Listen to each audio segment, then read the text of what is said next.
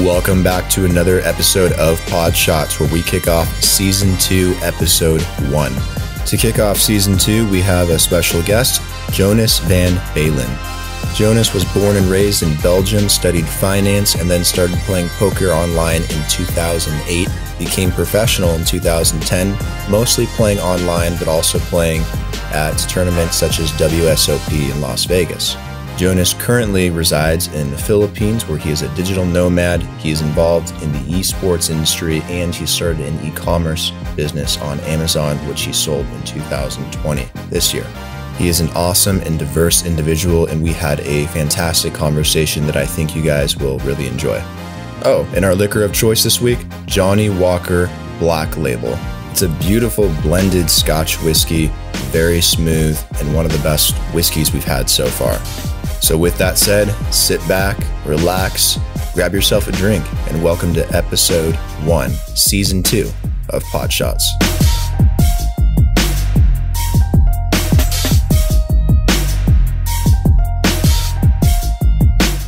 Um, Brandon's in Medellin right now. So I am. Oh, okay, cool.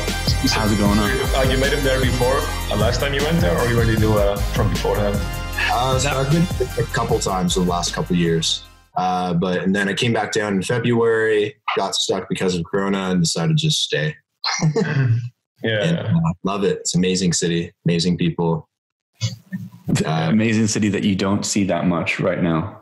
and Clement, you've been here, so you know how awesome it is. Yeah. Well, well. Uh, funnily enough, um, I think you used to live there, didn't you, uh, Jonas? Uh, no, I used to live in Ecuador, in Quito, for a while, but I've actually never been to Colombia. So, uh, Ah, but yeah, uh, I heard some good stories about it. Yeah.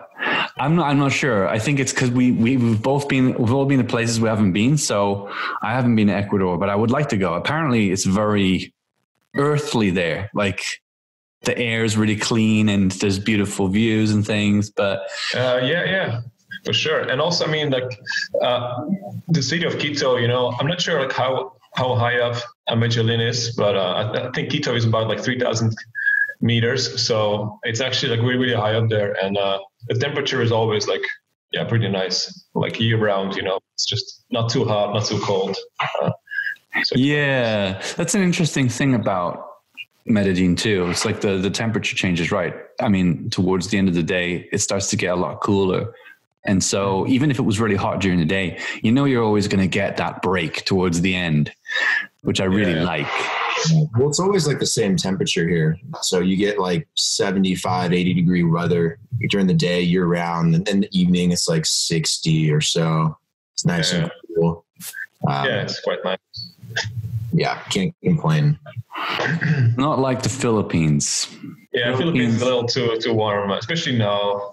Um, I'm not sure how much it is in Fahrenheit, but I think about 90 or something. So uh, it's uh, Yeah, It's and and if it says it's 20 if it says it's 25, it feels like it's 30 because of the humidity. So you you know like it's always misleading because it's so so feels so hot there compared to I don't know a drier place. That's where you are right now though, right? Manila. yeah, yeah, yeah. I mean, I'm in Manila right now. Mhm. What's it What's it like there during the whole quarantine? Uh, well, I don't know. I mean, I'm, I'm mostly inside, um, but uh, it's.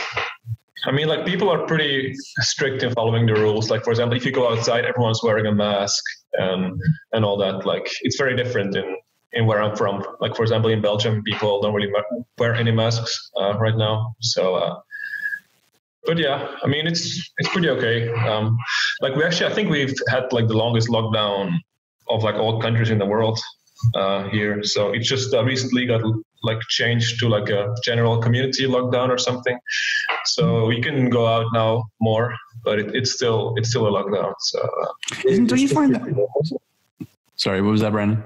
Do they like it restrict your movement at all? Like, were you allowed to go outside like often or? um, there's a cur- like a, a curfew, so you can't go out anymore after 5 p.m. Um, but even you actually weren't allowed to do anything except for like essential things, like going to the groceries or uh, uh, even I think like for a few weeks, like walking your dog was not allowed outside. Like you had to do it within the perimeters of your house or, or whatever. So, for, which for people who have their pets in their apartments, that's pretty difficult to do.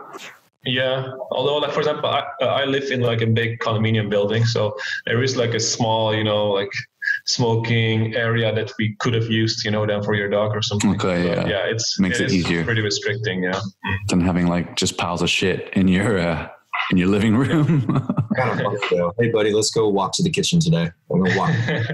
oh man, it's so it's so tough for some people. I'm so lucky to be out of that situation. But what yeah, really yeah. kind of kind of confuses me about the mask situation, and I know we're not talking about coronavirus, but I think it's worth worth mentioning. Like it's shocking to me how early on Asians, and I think this might be because they're just used to having face masks I don't know, pollution, mm-hmm. MERS, yeah. SARS, whatever. So, but it's shocking to me how the and, and and maybe you know better science about this than I do, but it, it just seems to me so obvious that wearing a face mask would have a positive impact, like net overall, as opposed to not. And so it, I, I just I was standing in a in a queue yesterday to go into the supermarket, and the guy in front of me was smoking a vape, and I saw the smoke drift away. And I was like, hang on a second. There's no reason why our breath isn't doing that. So what's this two meter rule? Because it's just flying all over the place. Yeah. And I was, I was, I was just thinking to myself, wow. I, They've been debating that a lot in the US. Like if you were to cough and someone was six feet away and they're using the six foot rule, like would it actually be effective? I mean, yeah, wearing a mask helps a lot, but mm-hmm. it can travel in the air quite a ways. So yeah, yeah, yeah. rules are kind of dumb. It does feel a bit dumb, doesn't it? And then all the so all the Asians are wearing the masks and we're not, and I and I just don't I don't get it. I don't get why it hasn't become a thing yet. But maybe there's some political reason for it. I don't know. Um, I think people just don't think it looks cool. That's why I don't maybe. I've seen some really stylish things though. Yeah, uh, I think it's as simple as that. People just think they look silly and they don't do it. So yeah, it's possible because no one else is doing it. So. Uh, uh, I'm sure if more people start doing it, then more people will join because it becomes less of, a, of an, an issue, really. But, yeah, well, nah, it sucks anyway. But enough about COVID, I suppose. Uh, we're here to talk yeah. about you, uh, namely your uh, history with gambling. that sounds so bad. yeah. yeah, I know. problem. yeah, but like, I'm really, I, I don't think I've ever spoken to you about this. I, I think we've touched on it a couple of times because you know we've known each other for years now but i don't think i've ever really sat down and had a proper proper talk with you about it. And it, and it is really interesting yeah. to me because a lot of a lot of people i don't think they realize how much how much money you can actually make doing online gambling you know? It's just a thing for them. But um but like how much money did you no i'm joking. Um, how, how, did you how did you even get involved in online gambling to begin with? Uh, yeah yeah good question. But, but indeed like like uh, first i'd like to say something like uh, indeed like a lot of people they don't know that it's possible to to make money with gambling. Um, i mean over the long term that is. But um, it's also true it really depends on on your game of course. Like there are very few gambling games where you can actually make money long term. Like for example, poker is one of them just because of how the game works. But for example, it's really hard or I think almost impossible, um, for example, to win at games like roulette or or something. Um, so um, you always got to make that distinction, and because a lot of people still indeed like they think about gambling as it's impossible to make money with it long term because it's you know it's gambling it's always the like the odds uh, against you but there are a few games where you know it's possible uh, to actually if you understand the game if you understand the theory behind it to to make money um, like the two that come on the top of my head are poker and sports betting um, like right. these two you can make money at them if you are really good but a lot of people still, of course, lose money at uh, because of you know the like like um, of course uh, the house always takes a portion of of, of the action. So. Mm. Um, it's more than like 50-50 people that win or lose because with the house they take away some match so it's more like you know 80 lose 20 win something like that Okay. So it's more like a It's- statistical kind of battle over time. Yeah, yeah, exactly. But yeah, to, to get back at your at your question, uh, so I basically started like um, I think like most other players, like um, basically uh, my friends they invited me for a home game. I think this was in like 2008 uh, or something, and we started playing some poker. I've never had played the game before. I've heard about it, so like uh, I knew about things like a flush and a full house, but I had no idea like what the rankings were or anything like that. Uh, so then they explained the game, started playing, and I, I, I just like really, really liked the game. But I've always kind of like like liked uh, card games. For example, like when I was younger, like me and my dad would play, you know, like this these you know innocent uh, games and no money involved, but still, you know, it's just uh, fun to play the card games. Yeah.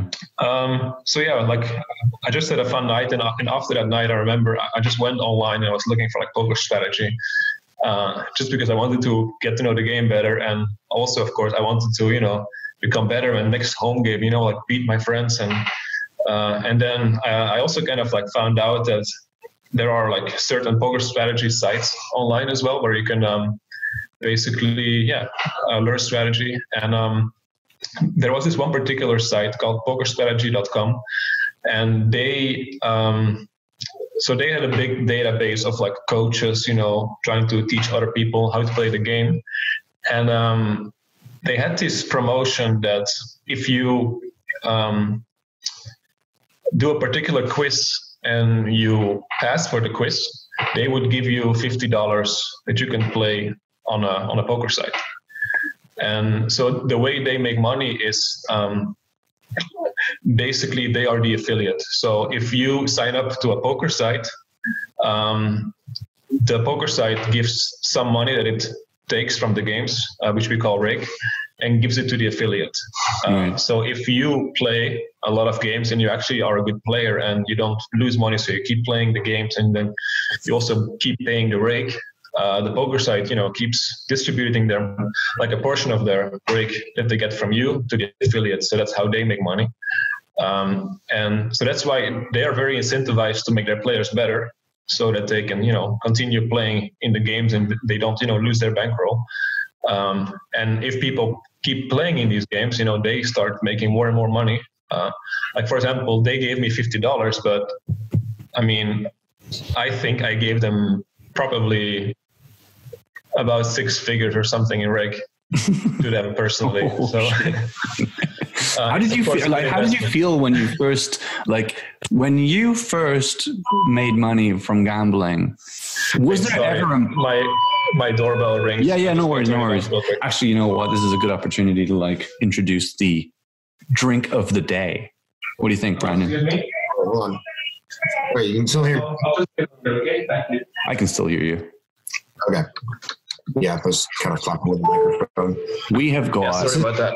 No. This is a good opportunity actually to break into it because we we didn't early on, and I think that this was like this was almost like uh, heaven sent. So we we Yeah. decided today to to drink Black Label. I'm not sure if you were able to get some, but Yeah, it's actually the got old some. original one. uh, I went to the store, but it- they didn't have it. But then uh, I went to my friend, and uh, she still uh, had a bottle. It's uh, it's half empty, but uh, I can join in on the fun. half empty or half full depends how you look at it, bro. Mine's about half full too, so right there with you guys. Okay, well, I'm I'm gonna pour a shot now, and uh, it's 6 a.m. Remember here, we're all in three separate time zones. yeah, I'm also uh, just been awake for uh, about one hour or something, one and a half hour. Yeah, but this one's pretty. This one's a pretty good whiskey. Like to, I think, take shots of compared to maybe Jameson. I'm not sure. Not that I'm putting Jameson down. It's just oh, Isn't it? yeah. This is uh, a bottle in Scotland, so I guess it technically is. What what really fascinates me about these bottles, these mainstream kind of bottles of whiskey, is that this is still 12 year old. You know, it's still aged for 12 Yeah, yeah, years. yeah. So they've got like massive, massive like volumes of this whiskey just like constantly being made. And in 12 years from now, Yeah, they I got know, it, it just blows my mind. they just got tons of barrels aged every year that come out every single year. So Mhm. Yeah. Okay. Well, shall we? Cheers. Cheers, everybody. Chink.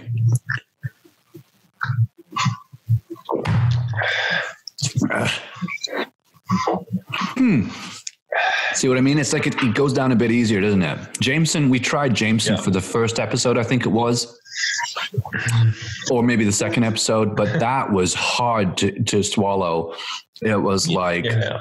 you, it, it kind of shredded your throat. You do not want shots of Jameson. Not you do not want to do shots of Jameson. Those Irish guys are uh, and gals are crazy. Yeah, yeah. I'm like generally like not a big fan of whiskey, and definitely not of taking shots of them. Uh, like I, you know, like to sip. You know, take your time, enjoy the uh, the flavors, the aroma. Yeah, yeah, exactly. And uh, that's not what this show's about. we abuse alcohol in the show. no, but we are kind of like getting a little bit more relaxed with it. And I think last last time I did a cocktail with some gin because I was I was thinking I'm not going to take shots of Monkey Forty Seven. You did, you crazy fucker. I had to. I had to keep the tradition alive. Um, but but my question was before you know before you had to go and answer the door. Uh, my question was when the first time you made money online, didn't you feel mm-hmm. like I'm not sure how you you had, had kind of like grown up thinking about gambling, but was there this moment where you're like, ah, I'm gonna have to make a decision now whether I want to stick with this or like leave it because it might become a problem. Right, right, right. What do I mean by by problem? Oh, like, like if I start losing too much, or yeah, something, or, like if I get addicted to this, and then I, you know it turns out yeah, that I'm actually losing more than I'm earning. Right, right. So I've actually always had a.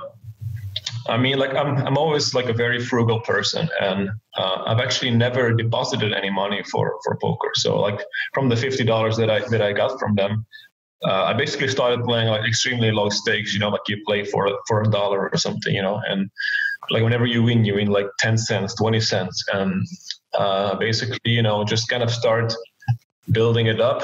And in the beginning, it just goes very slow, you know, like, like, like from the $50, you know, in like one week time or something, I would be at like maybe 55 or maybe I went down to 45, but then, you know, I just keep on playing and, you know, you just very, very slowly uh, build that bankroll. And that's actually very important um, in poker is, you know, proper bankroll management. Uh, so, Mm. Basically, um, in poker, you have these different stakes. You know, like you can play for one dollar, you can play for two dollars, five hundred, and so on.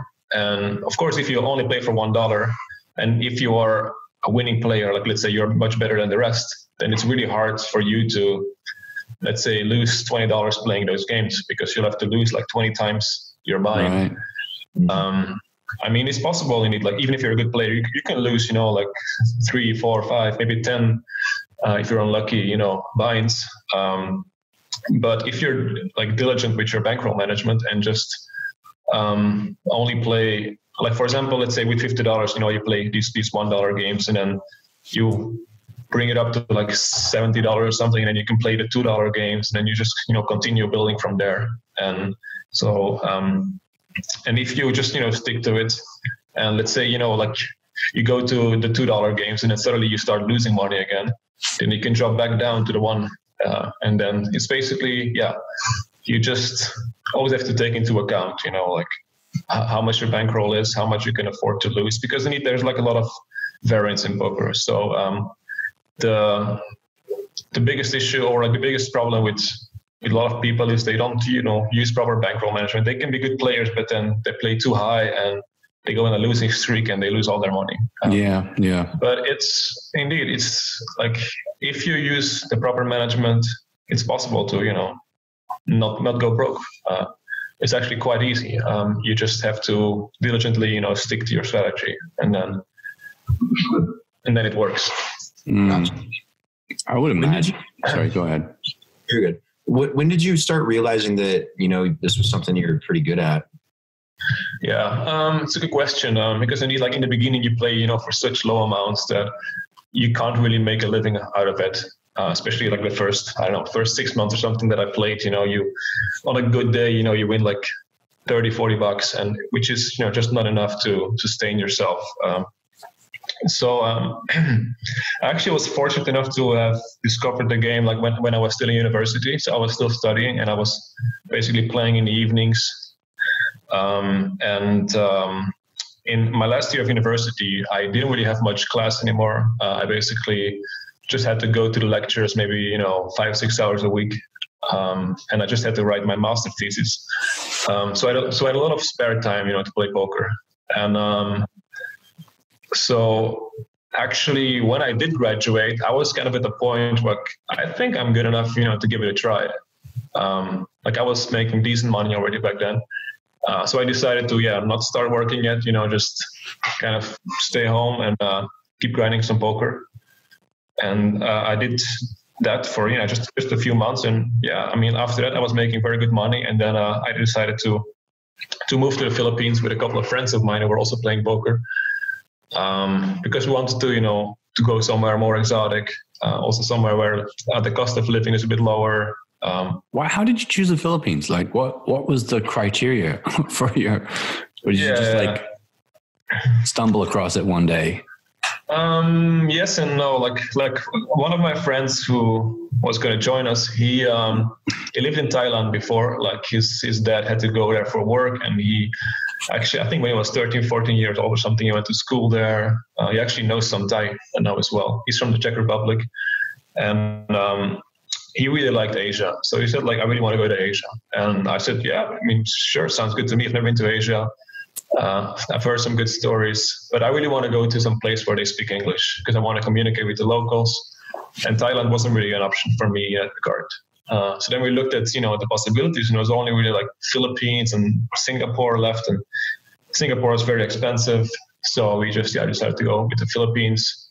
Then we looked a little bit at where in the Philippines. Uh, we basically didn't want to go to Manila because we thought it would be too crowded, like too much of a polluted city, etc. So we looked for like the second, third biggest cities in the Philippines, and then we stumbled upon Cebu, and um, we basically booked our ticket.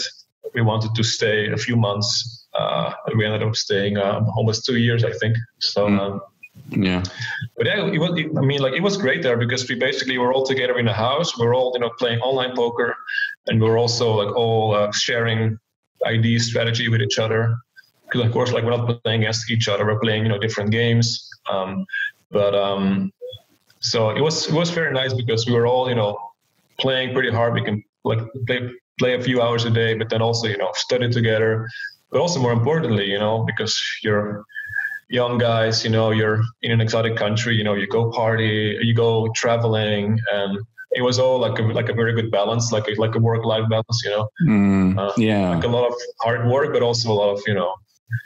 Uh, hard parties. yeah, that's that's the thing that, and that's the cool thing about being like you know having a having a, a, a revenue stream that comes from online that you don't mm-hmm. you know have to be fixed to any location and, and th- that's one of the major pulls to i would think any kind of like online gambling or having an online business so the fact yeah, that you were able to just get up and go away like I was and like you were as well, Brian, I think we're all in the same boat, is, is, is pretty cool to a lot of people. And they just kind of need to get their head around how it works. But, um, yeah. But if you, so you were, so you were only 18 years old, right? When you were like really starting no, no, to. No, no, no, So, uh, I, I graduated from university. So I was 23 years old. Oh, you 23. Like I basically finished my, my master's first, uh, and then I went the, the year after.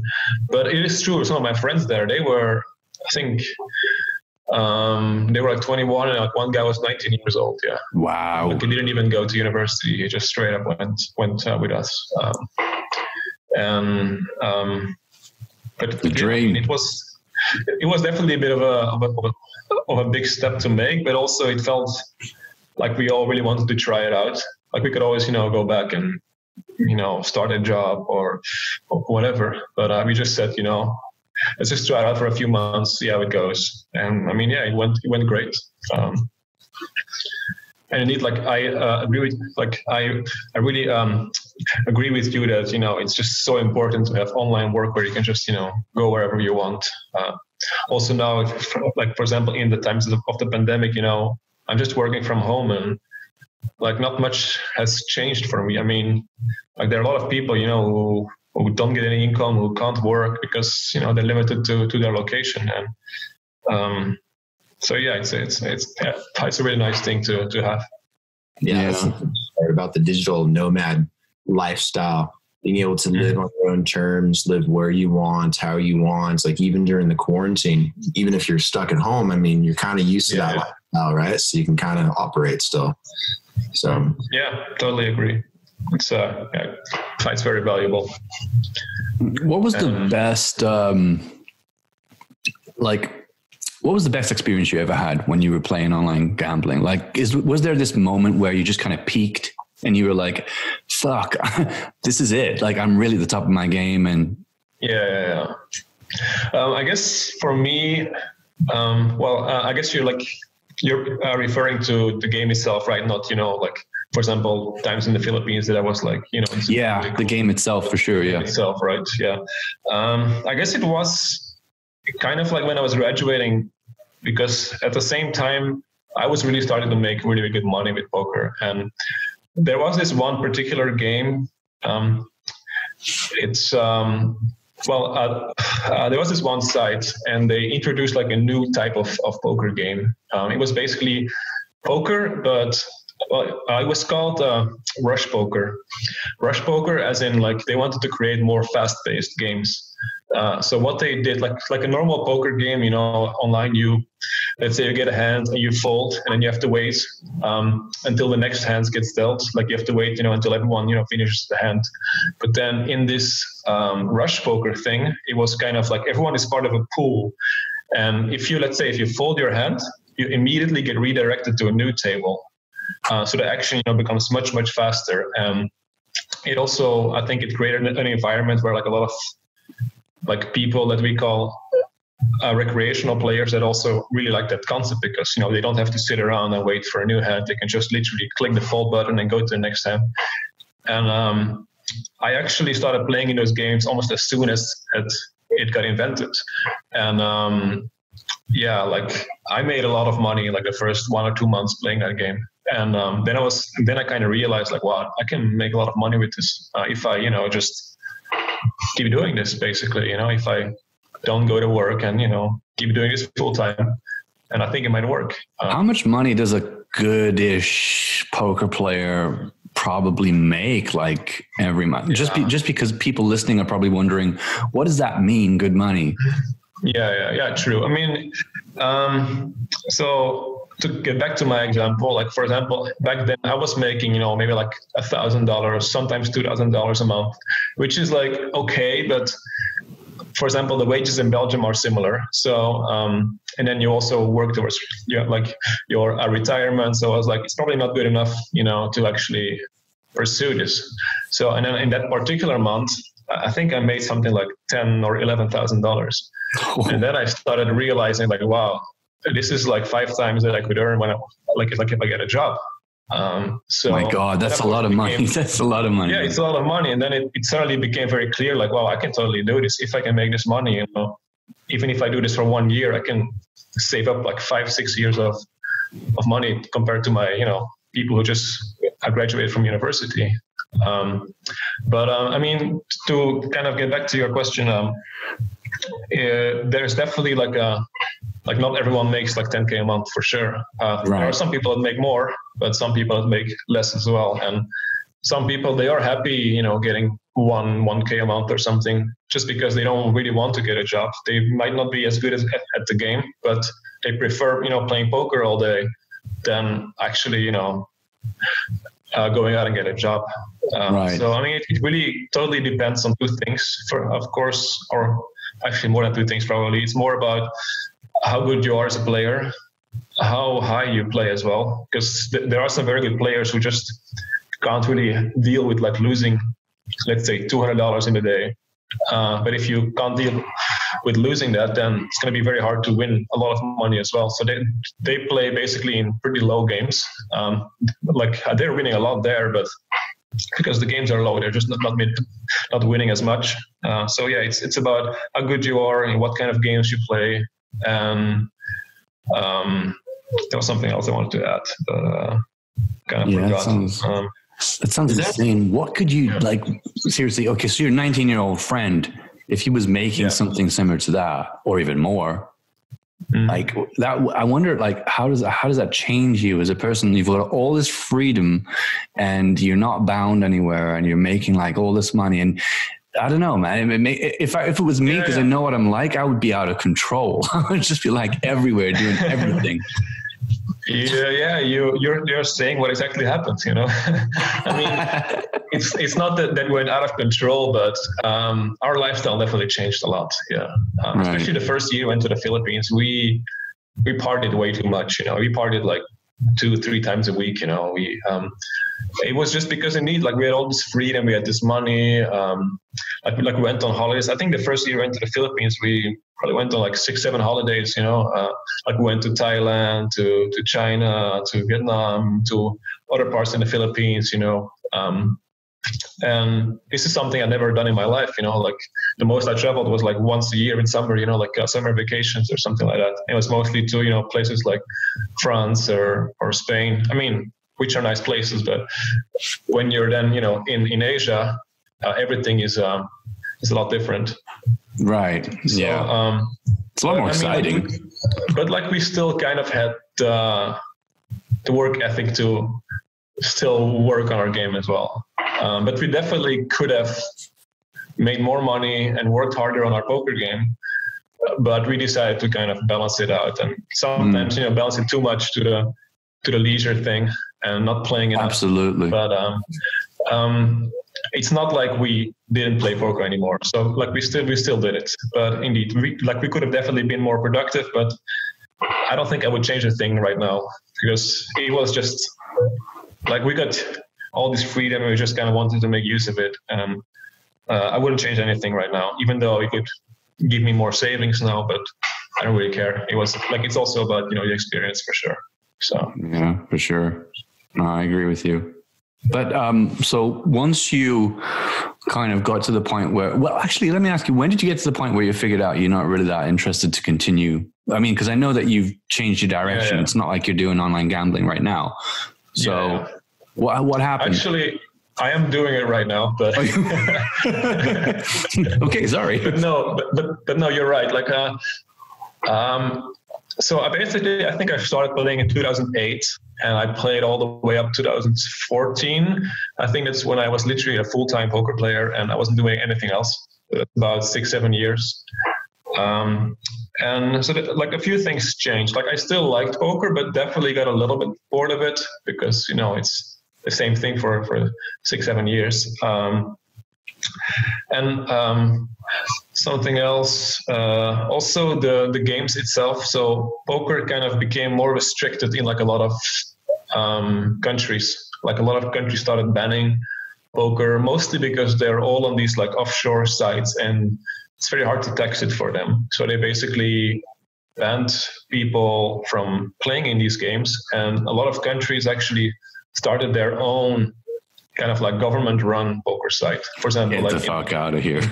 uh, in France, in Spain, they oh, all shit. like like you can play poker, but only on our site, so they can tax the people. Only for Her Majesty, right? Yeah. Okay. and I mean, because of that, like the player pool got a lot smaller, and it's also, for example, in in poker, you know, like like we distinguish between winning and losing players, and um, for of course the winning players it's their it's their income it's their livelihood. So they're more likely to get out of their way to continue playing. For example let's say if you live in france and you can't play anymore only on these sites but it's very hard to make money on these sites because you know the, the taxes are so high then they will try and move somewhere else. Like, for example, they can come to the Philippines or to Thailand or, or somewhere and try to play from there because yeah. then they wouldn't have to pay the taxes anymore. But then would the regulations and the moderation of it go down as well as a result? Because I know that when you move to somewhere like the Philippines and you open up a, an online gambling company, I'm pretty sure you're not being kind of, uh, you know, spied on by the government as to whether or not you're doing things right. Yeah, yeah. No, I mean, I mean, like, of course, it depends on the country you're going to. Uh, but like, I know, for example, for the U.S., there were a lot of players in the U.S. that went to, I think, Costa Rica and Mexico because of the laws there. Um, like they didn't have to pay any any taxes on their poker income there. So, um, like, you had a lot of people from the U.S. you know migrate over there. Um, I mean, like of the of the professional players. But then, you know, for someone who's a recreational player, they don't really bother with, you know, going to another country to play poker.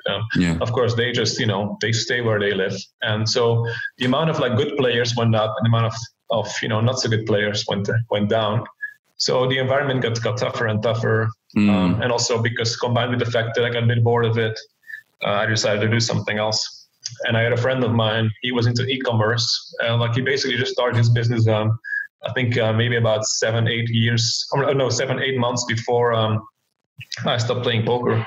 And I talked to him, and he was talking about how it's you know, it's also a gold mine. It was really fun, and like he was making really good money. And uh, I knew him from poker, and um, I said like, well, it sounds interesting. Like I kind of want to try something new, and I've always like like when I was younger, I always kind of like wanted to start my own business. Um, so I kind of felt like this is something I could do as well. Um, I kind of learned from him, and um, yeah, so I basically then I think 2014 started my my e-commerce firm. And um, what was that about? Yeah, I've been doing. What did you guys do? Yeah, so uh, we basically just um, um, we, we got in touch with some suppliers in, in China particular products, and uh, we told them for some for us some samples. Then we um, basically changed some things on the design, etc., and and the branding, and we basically made our own brand, and then we manufactured those products and sent them to uh, the US in the beginning to to the, uh, the warehouses of, um, of Amazon, and then yeah started selling online and um, I was surprised at how easy everything was. I mean, easy as in I could run the whole business from my laptop. You know, I can talk to the suppliers, I can talk to like quality controls, I can talk to the forwarders, the people you know who send the products from China to the US. Um, even you know dealing with the customer service through Amazon, I can do everything on my laptop. So again, you know, it was something that, that I really enjoyed because again, I can go on a holiday and I can still work. Mm. Um, so uh, yeah, th- that's when we started doing that. And I didn't really play any more poker um, for a long time after that. Yeah, I basically mm. started working a lot on the business, and I actually just sold this business now uh, last last month. Um, so uh, we listed it for sale, and um, yeah, we like we found a buyer, and right now we're just going through like a transitioning process where I'm, you know, uh, educating, teaching him about how to run the business. Oh, okay. Uh, but in about one month, uh, we'll all be be finished and uh, I'll be ready to do something new. Congratulations, man. Yeah, yeah, thanks. Man. What kind of products are you guys selling? Um, like we basically tried a few things. Um, like we started off with a, uh, a, a, hydration belt, which is something you use for running. Um, it basically it's like a running belt where you can put in your your your phone and your keys, and but it also has some bottles, you know, uh, that you can fill with water or, or sports drinks or whatever you want, and you can basically you know just go running and have all these things with you. Um, so uh, we we got one of those. Uh, then actually the biggest market we went into was uh, ice packs. Ice packs, you know, just the thing you put in the freezer, you know, for injuries. Um, like we had them made with like specific um, designed like uh, wraps for each body part. So for example, uh, we had like we had one for our wrist where you can basically put the ice pack inside of uh, a wrap and then you just wrap it around your your wrist, uh, and then you can just you know walk around uh, with it. Um, same, I mean, like same for your wrist, your your back, your knee, uh, etc. And actually, those products did really well for us because we kind of sticked with that market, and we just kind of like expanded within the market. Like we have about I think ten products or something in that category, um, and and yeah. Uh, that went pretty well. And in the beginning, it was a lot of work, of course, because you have to you have to um, you know build your brand. You have to take care of you know the listings, images, descriptions, packaging. Um, but like once you have done all that work, um, oh yeah, it's like there's still the, the, whole, the whole advertising part, which is also very important. Like you have to um, basically make like a PPC system for like a bunch of keywords uh, and all that. But all these things, like once you do it, um, it's kind of done. And um, the business kind of became very passive after like one year. We didn't really put as much work into it anymore. The only things that really were needed for maintenance were you have to take care of customer complaints, customer service, but we hired someone to do that here in the Philippines. Um, and um, other than that, you also have to keep track of your inventory, and then you know, to, so you can basically restock uh, before running out. Uh, but other than these, excuse me, these two things, um, there was like not much to do. Uh, of course, like we weren't growing the business anymore. Like we weren't creating new products. We like we weren't creating um, new listings, but we were happy with you know the sales we were receiving, and it kind of was pretty steady. You know, um, it did go down slowly, but it was all like pretty pretty gradual. So it was actually like for two three years it was a very very passive income. Like we didn't really. I think I spent like maybe two three hours a week on it or something. So um, it was really really quite passive. When you say we, who are you talking about? Uh, that's uh, me, me and Eileen. She's uh, my ex-girlfriend, like my girlfriend at the time. Uh, right. We started together. Yeah. So how how was that running a business with your girlfriend? Um, it was pretty okay. I mean, like, course, we were also living together, so it's easy. You can you know constantly talk to each other, and um, no, it was actually I mean, like she was a great great help. Like I, I couldn't have done without it. I mean, I mean without her. So. Uh, um, yeah, I mean, again, like I would I would do the same thing, you know, if I had to go back in time, uh, because I need like a lot of people they uh, they said like, yeah, but how does it work? You know, you and your girlfriend, and also because we, we we broke up when we still had the business, you know. So then again, people were like, how do you manage, you know, something? Yeah, interesting. Just there's a lot of money involved still, but I mean, no, we were we were very good in in not dealing with it. Yeah. That's amazing. I think uh, most in most cases that probably would have wouldn't have gone so well. I would I would imagine. I would imagine, but that's just me. Yeah, I mean it it it, it really depends on, on the whole relationship, you know. Yeah, for sure. It's like not everyone breaks up because I mean some shit happened, you know. Like it can also just be you know for other reasons. So do you want to take another shot, everybody, or how do you feel? Uh, yeah, sure. I already got one poured up here. Why not? You, oh, you already have one poured up. It's that bad. This conversation. I'm thirsty, you know. I'm thirsty. Yeah, this one's a lot easier. You're, you you should be happy that you weren't present for our uh, Bombay Sapphire special. Oh shit! Oh, having all that floral Bombay, essence. I had a shot of it. Yeah. Not in the monkey, man. No gin ever again. yeah, gin's a special one when you're taking shots of it. There's something about it; it just doesn't make sense. But um, it's like but in, in a cocktail, it's, it's like drinking essential oil. Just yeah, it is like drinking essential oil. That's a good point. All right. Yeah, let's do this. Cheers, guys. Yeah, cheers.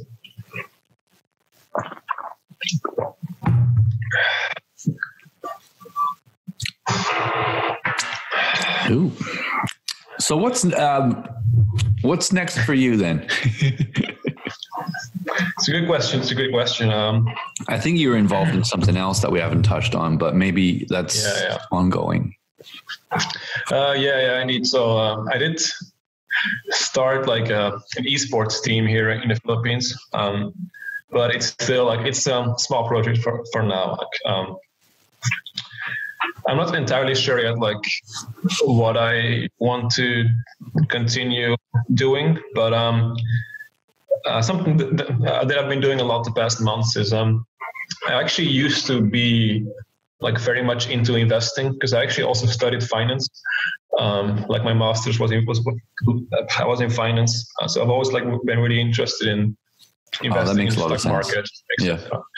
Um, and also, actually, like uh, you can definitely argue that gambling is very similar to, or like professional gambling is very similar to investing as well. Um, but anyway, so um, I've I've been like really like uh, doing quite a bit of research lately. Uh, on stocks and the stock market in general, because of course, also now when we sold the business, you know, we have some money that uh, I have ready to be invested. So uh, I was looking, you know, to get back into that, and um, it's actually like I'm spending quite a bit of time on that right now. But it, but also like it's not something that I want to do actively, as in you know, like, like I don't want to like want to become a trader. It's more like I want to um, know how to like long term invest. So it does take some time looking over the companies and um, just like looking at their strategies, etc. But right. it's also something that I think it's going to be a bit active, but it's just going to be a couple of hours a week. I think that I need to spend on it, you know, long term um, to just kind of like follow up on them or like look for new opportunities. Uh, but it's not something that I want to be like be like a day trading and be like you know 10 hours a day looking at the charts and all that. No it's more like you got involved in that recently didn't you brandon? and, yeah it's a headache. It's not fun. Mm-hmm. yeah no uh, i know. Yeah, when you're stuck in quarantine man i mean you'll you'll try anything at some point but yeah, yeah. Long-term investing is a lot smarter. Um, you know, look for good teams, people that are going to be in place that can grow a company over time. It's mm-hmm. a lot yeah, smarter yeah. trying to do it daily. You'll just drive yourself insane. But you can make money that way. It's just yeah, yeah, for sure, for sure. Yeah, that was. Yeah, I've actually was... also done it for a little bit, but yeah, it was also not really like my cup of tea, and I. It's indeed like very, very, very like very frustrating, and uh, you also need a very, very strong like mental uh, strength uh, for it. Um, but I need like uh, I do agree like just investing long term just sounds more more fun to me as well. Like I also uh, I really like thinking about the future and like how the future looks like and I think investing for the long term um, you kind of have to think about the future like you know like for example um, i would probably like not be you know investing in let's say like a um, like a store where you go buy DVDs, you know, because in 10 years from now, you know, those won't exist anymore. They probably don't even exist right now anymore. But um, and like uh, you're talking about, I just bought loads like, of DVDs yesterday. like you basically like think about like what like what do you think will the world you know be like in 10 years from now, and just like invest in you know the technologies that uh, you think will bring us there. Mm. do you um, have any thoughts about the direction that we're headed with the global economy and what that's going to have as an impact on the stock market, for example? Uh, yeah, that's a very, very good question. Uh, like a few months ago, um, there was a you know like a, a very, very big downturn due to the the Corona crisis. Um, I think it was February, March. The stock markets went down like 40% or something in in one month. I think it was like one of the biggest drops, if not the biggest drop in history, together with uh, the Great Depression in 1929. Um, and so it's it's a bit unsure that um, like some people think that you know that was it like that was the bottom like now it's just going to be going up again um, but there are definitely also a lot of people that think um, there are a lot of like this lockdown, you know, this basically the the, the economy, you know, that stopped for like a few months um, can have like very very large implications, you know, for for the future on like a lot of like not only the people because you know like a lot of people went went jobless, um, but also for for companies. Um, like I actually read a pretty interesting article uh, just uh, I think last week about the whole sector of uh, agriculture um, because basically because of the the lockdown and because of the uh, restrictions on like uh, travel of, of, of, immigrants and workers um, a lot of the the crops that needed to be planted weren't planted because there were just no people to actually do it.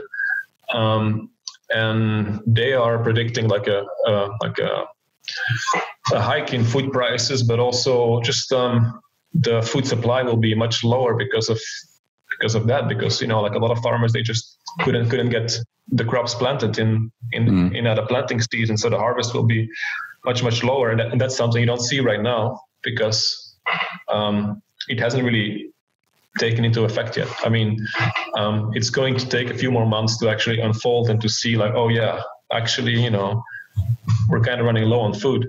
Um, and you know food prices will go up and like a lot of poor people might not even be able to afford food anymore um, just because of the fact that there is just not as much food as, as other years. Um, and like there are other sectors as well that I think will will get punished uh, for of the I mean like the, the actions taken by by the government. Um, I mean I'm not saying the actions were wrong or I'm just saying it's going to have effects and um, some are still to come. like some, like some of them already happened, but some sectors, you know, we still have to to wait and see what's going to happen. So uh, there's definitely a lot of uncertainty, and I'm not entirely sure. I, I predicted the market will probably go down in the next months, but I can be wrong. Uh, Mm. Yeah, it really depends on how they roll out some of these phases. I know, least know in the U.S. they're rolling it out in phases and trying to get people back to work as soon as possible. And they're doing similar stuff in Colombia too. But supply chains are, you know, badly affected right now. People are stuck at home. Um, you know, they can't get to work. There's millions of people in the U.S. applying for unemployment. Um, it's I it's think it was 11 million just recently.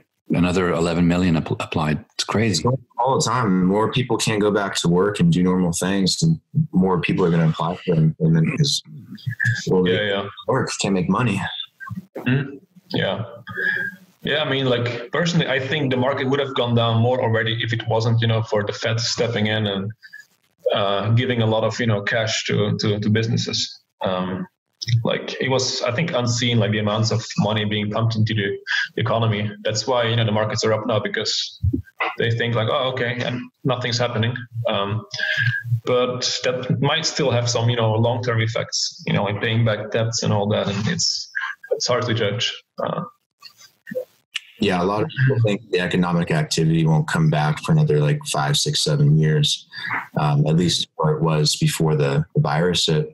One of the biggest issues, at least in the U.S., is the fact that all these small businesses are struggling because they can't reach their clients and their customers. Um, Yeah. While a lot of them are innovating, uh, a lot of them are still struggling, and they are forced to take on these loans from the government. And over Yeah. time, they might not be able to pay those back, and a lot of them might default. And that'll just Yeah. cripple the economy. It, it doesn't look like a good situation long term right now, but yeah. trying to be optimistic about it though. There's some companies are doing very well Mm. on the side. Tech companies are doing very well. Yeah. Mm. Yeah. Yeah, this is a big question mark for everyone, I suppose. There's not really anything sure that we could give as advice, but uh, it's definitely good to think about the future, like you said. I mean, a lot of people have trouble with that because inherently they have so many issues to deal with in the in the present moment, Oh yeah, yeah, for sure. and uh, it's very difficult to to think about anything else when you're.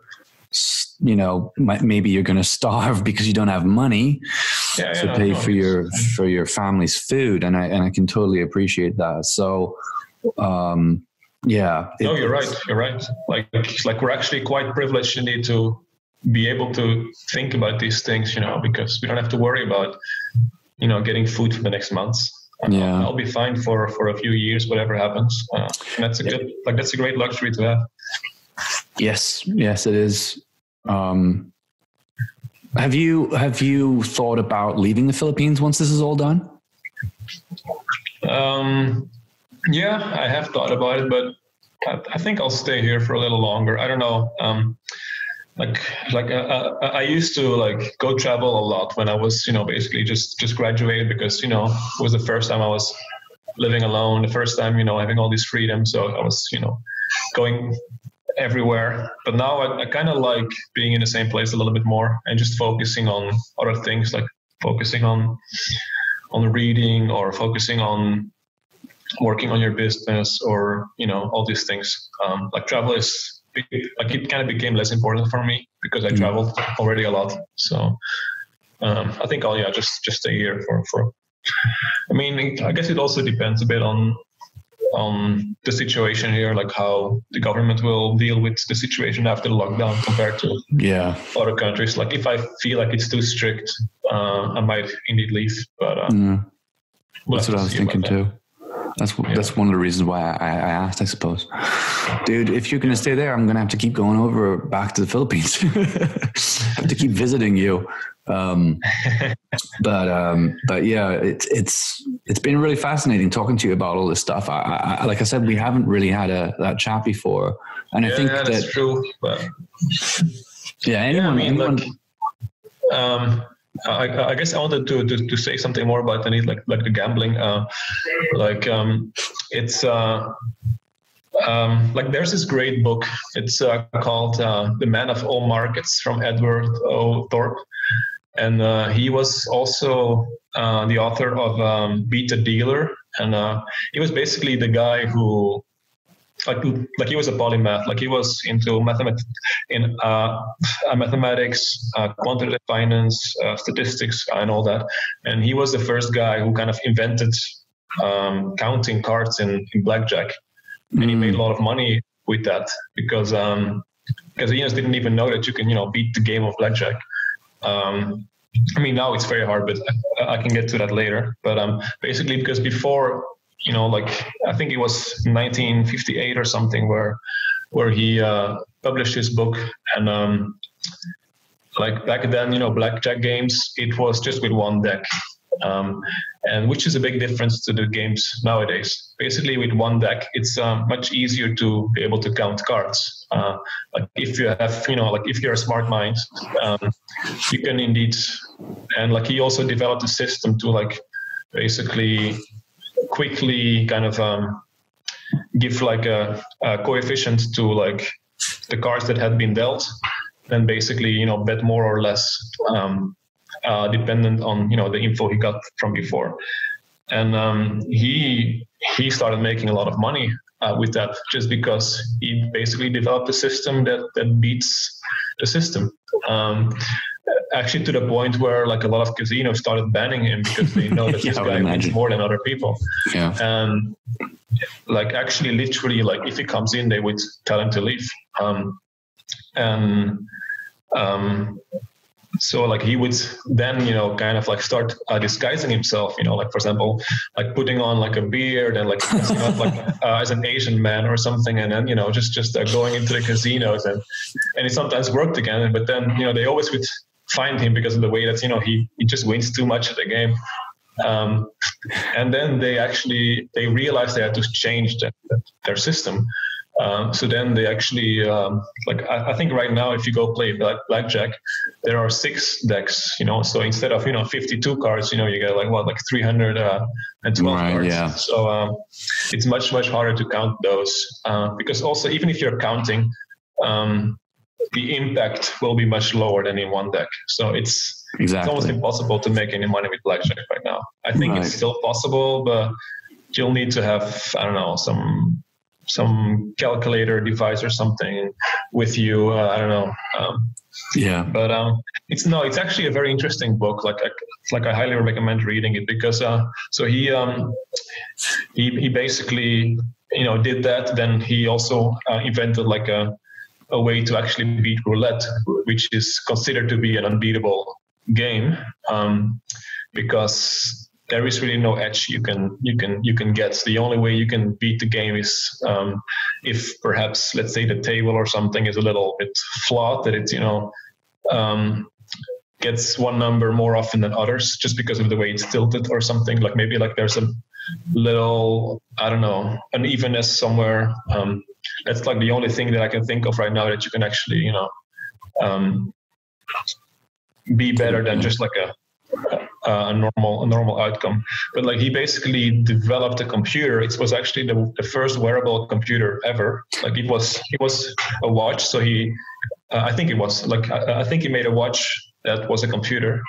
And um, the, um, like what the what the computer did was it had a camera, and it would um, look at the ball and basically calculate the velocity of the of the ball, and then um, based on that, he could predict that you know the number would be probably like within this range.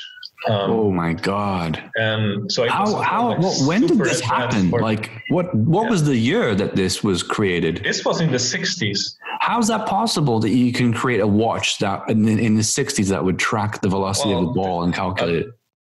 The, the guy was a genius, but uh, that's um, crazy. Um, yeah, I don't even think NASA would have been able to do that. but, but, well, because in in roulette, right, you can you can still bet even if the ball is still spinning. Like like they will, I think after a, some time they will say, okay, no more bets now. But um, you can still you know bet after they actually spun the ball initially, and of course you know with the, the laws of Newton, you know like the uh, the force, you know, I mean, like uh, the force will be the same. So, um, like once it is spinning, um, he can already you need like calculate, you know, a, a bunch of things, and um, that actually allowed him to make uh, some very good money with roulette as well. And um, he actually it was harder for the casino to catch him because it's like nobody thought you could win at test at roulette because in blackjack of like Yeah. you need like after a while people thought like okay yeah I guess it's possible if you do this yeah like like if you do this and this but with roulette th- like there's no way you can win so um, It just makes me wonder about what kind of stuff people are doing these days that we don't know about, you know, in the casinos, because there's some serious tech now that you can, you know, I mean, if that was the 60s, This tech nowadays, though, could easily analyze some of these games.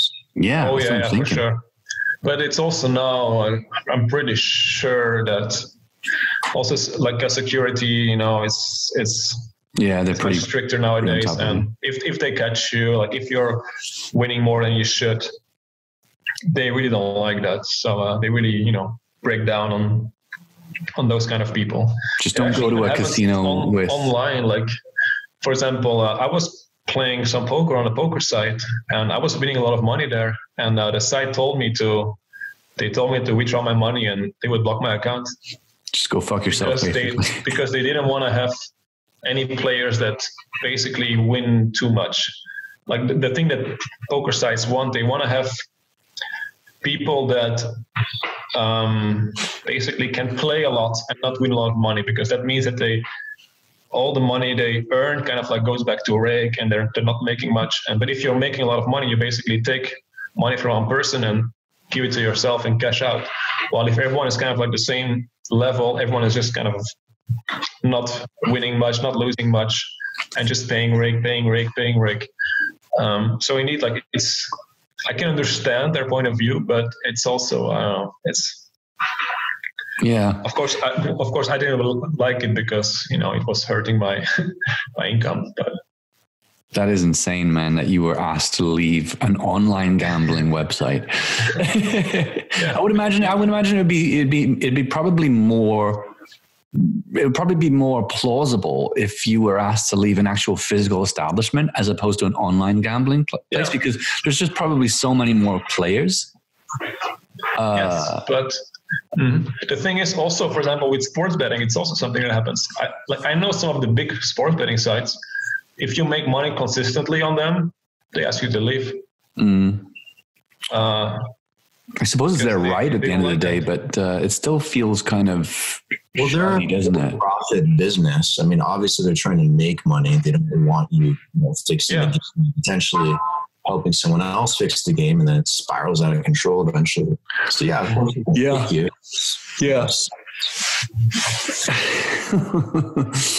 wow, this is the But yeah, crazy world of gambling. Yeah, it's actually also a very interesting market, the sports betting market, uh, which is also like a market where there are some very, very big winners. Like some people really make a lot of money with sports betting. But of course, you have also the majority of people, you know, they lose money there. Um, So if you want to play, like, let's say someone's listening to this or watching this, and they're like, "Oh shit, yeah, I want to, I want to start this." Like, what, what, what's the situation now when it comes to getting into this? Is it a lot harder than it used to be? uh, it definitely is a lot harder than it used to be. Like I personally, I would never recommend anyone to to go and do online gambling. Uh, Especially in the sites that like- you go to, right? things like no it's it's more um, i've seen people try it and i've seen a lot of people fail um, Right. so as long as you know um, of the risks of it um, and as long as you start very small and make sure that you can win at like the lowest stakes and then you know just gradually go up from there um, then yeah you can do it but it's not something that um, like uh, I wouldn't like go to my friends and be like, "Hey, you really gotta try online poker, man. It's a gold mine." Um, like, because it's not true. It's it's it's hard, and a lot of people fail. And um, but if you want to do it, then yeah, just know the risks and yeah, go ahead and do it. But um, So do you think that online gambling's had its heyday already? I think so. Yeah, I think so. Um, Um, because also like with sports betting, for example, um, I think you can still make money, but indeed, like um, I think sites got better and better at you know finding the correct odds, uh, etc. And I mean, I don't know. I, I- think it's probably still still possible, but it's uh, it's definitely it's definitely pretty hard environment. And um, how would you know which sites not to play on? Um, that's you gotta look online on, on the forums, etc. Like for example, for, for sports betting, I know there are a few sites that even allow winning players to to win because uh, they kind of see it as um like wait uh, there are two different types of sports betting like sports betting sites you basically have sites where the site itself is the the bookmaker and they basically make the odds for the game so mm. that's usually the ones where you can especially if you're early on like let's say you know they just posted the odds they think for the game of tomorrow um, then that's where you know like the most mismatch is uh, so then you like that's I think where you can make the most money because that's where you know the odds are probably the the most skewed towards you know being in a in a bad kind of place. Um, but then also like the more people bet on one side, the site they kind of see that and then they start shifting the odds a little bit lower so the other side gets more favorable and then basically um, they look at the pattern of like the bets coming in and then always kind of like balance it that way where um, it doesn't seem like everyone is betting on one side, um, if that makes yeah. sense. Yeah. Um, then there's another particular type of uh, sports better sites out there. They are what they call like sports betting exchanges. So you're basically you can it's kind of like a stock market. You can like list um, a particular like let's say you know like you want to have a particular odds where you want a certain team to win, you can list that and other people can take that bet or not. Mm. So uh, in this way, the site actually doesn't lose money because the site takes a little commission on sure. each trade. So there's actually no risk to the site. And very often as a player, you can actually get better deals um, because um, on the uh, well, well, let, us call the exchange type, you know, type B, and uh, the other one type A. Because in type A, you can um, like basically the spread is much larger because the, the company needs to have like a bigger buffer to kind of make money for themselves. Right. Well, in the exchange, they usually charge smaller commissions because they they always they are they're 100% sure of getting commission, so like there's no risk for them. Uh, while you know in, in in type A it's not the same. But so also you know for players you can generally get better deals you know on the exchange uh, types of um, companies because you get less commission, like they take less um, so you get better deals too. So actually, like a lot of the bigger sites right now are venturing towards like the exchange type of uh, sports betting. Um, Sounds which like it makes more sense for both parties. Like yeah, yeah. Uh, um, Maybe that's somewhere people could get started. Yeah, but I mean, of course, you know, there's still commissions, so there's still um, there will still always be more winners. I mean, uh, more losers than winners. Yeah. So, uh, but it's it's interesting. It's interesting for sure, but it's very hard, man. It's very hard to to make money because there's so much variance involved that you really have to like bet big amounts to actually make money over the long term. And you're gonna have a lot of like we call it swings. You know, like you're gonna like swing up like five thousand down, ten thousand down, twenty thousand up. Um, just to get like an average of like you know three four thousand income. Gotcha. Um, so that's something that will deter a lot of people from actually doing it because um, just like the emotional, you know, like feeling of a loss of like ten thousand dollars, you know, it's uh, yeah, it can be devastating for some people. And right. that's stressful. Want to make yeah, yeah, I indeed, it's very stressful. So that's why I don't really recommend anyone to become a professional gambler because it's it's hard. mm. Yeah. Well, I know for a fact that most people are not that good at uh, thinking about the long term and dealing with the short term pain. They'd rather have it the other way around. Uh, there was a, there, I think there's a Simpsons kind of, there's a scene where Homer Simpson's like, he sees a vision of him in the future and it's, it's an awful vision of him. And he's like, yeah. oh my God, I'm so glad I'm not that guy. and um, uh, yeah, I think a lot of people kind of subconsciously feel that way. They can just put things off and. Uh, anyway, so dude, that that's that's been absolutely fascinating, man. And there's been so many things that I've learned about this that I had no idea about. So suffice to say, I won't be getting involved in gambling after this uh, conversation. Uh, plus, my Chinese genes probably are a good indicator of, of not doing that in the first place, anyway. yeah. Well, and that's good. Like, uh, that's a good takeaway, at least. Uh, yeah, if you're Chinese, you can don't try, but it. it's, it's yeah, it's it's gonna be very very hard. Uh, yeah. But actually, back in the day when I was starting out, I actually did recommend it to a lot of friends because I thought it was a bit easier back then as well. And um, but yeah, right now I, wouldn't really recommend it to anyone. Um, I, I think if you can make it in the gambling world, if you can make a good living, you could have made so much more if you start your own business or if you did something else with it.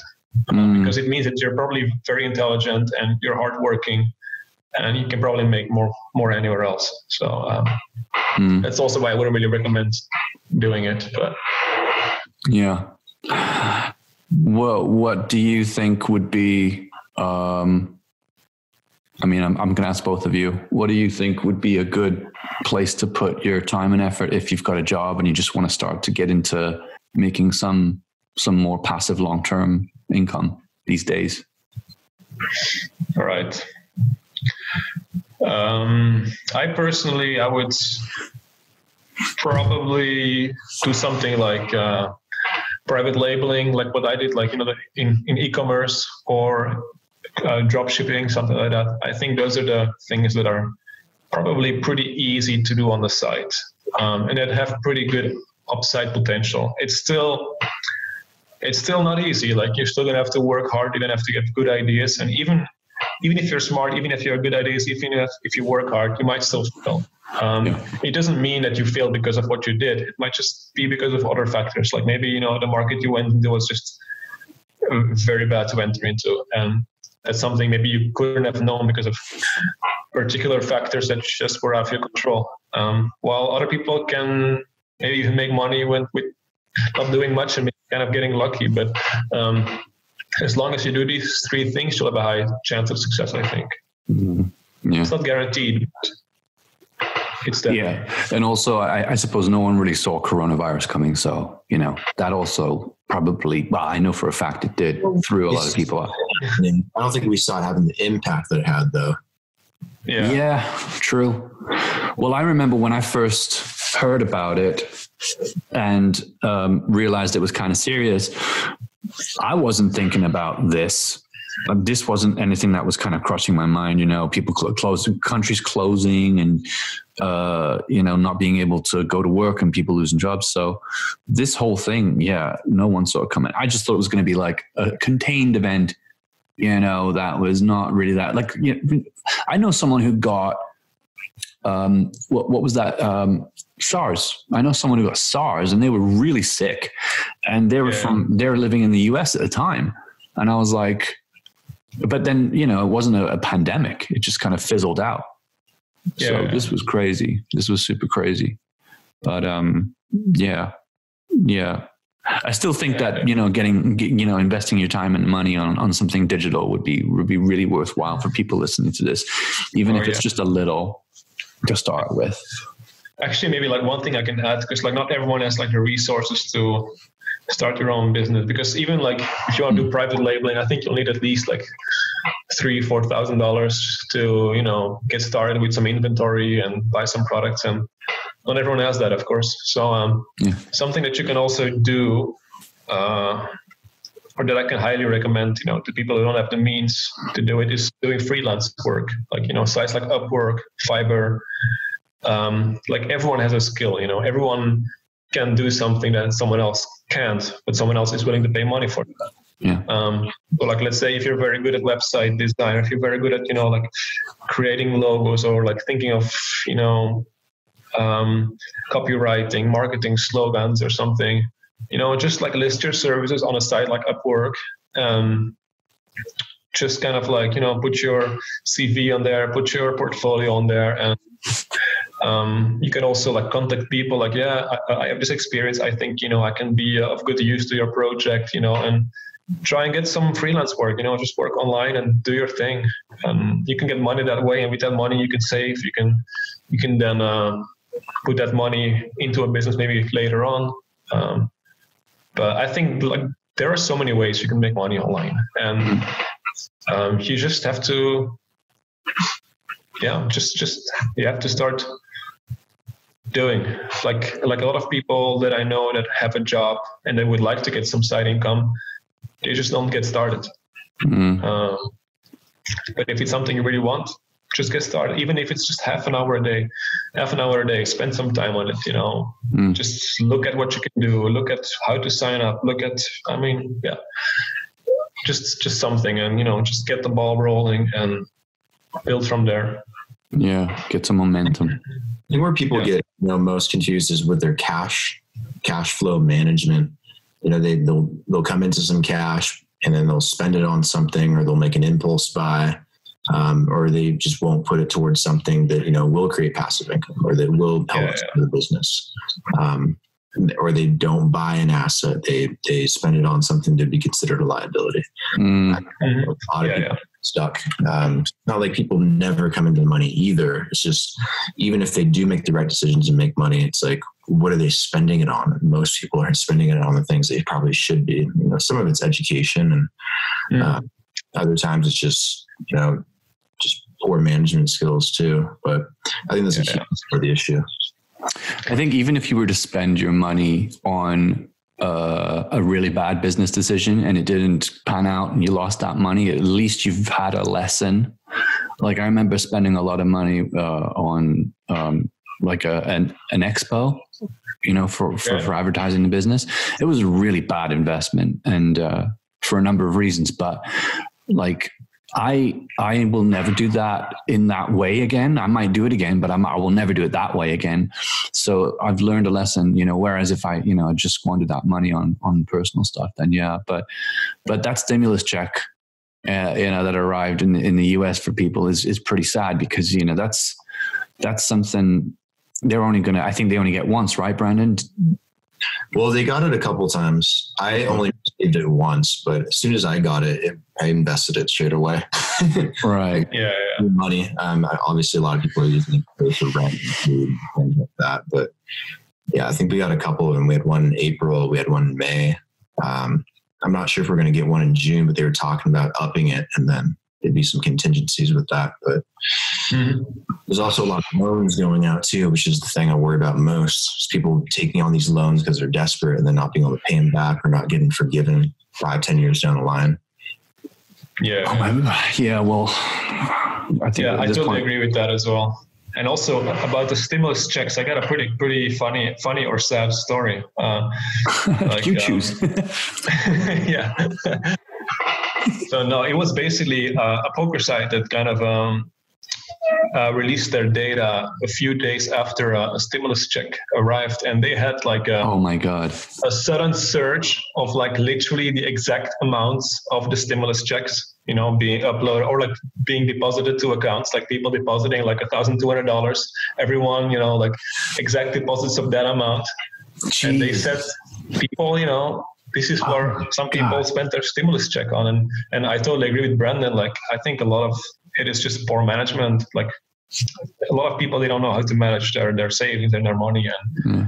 the big problem if you want to you know gain passive income um like like for example here in the philippines it's it's very rampant as well like it's very common to see people you know who earn maybe six seven hundred dollars a month who buy the newest iphone and they like buy it with like a payment plan and they're stuck for two years and for two years they will probably like not be able to save anything because everything goes to the new the new iphone they spend you know three dollars on a starbucks cup i can make it at home for 20 cents uh, Mm. just like i mean i get it that they because they earn their money they want to spend some but limit you know like if you earn $800 a month you know don't spend you know more than 500 or something you know. Um, just like make sure you always kind of save something and definitely definitely don't go into debt you know to buy something you don't really need.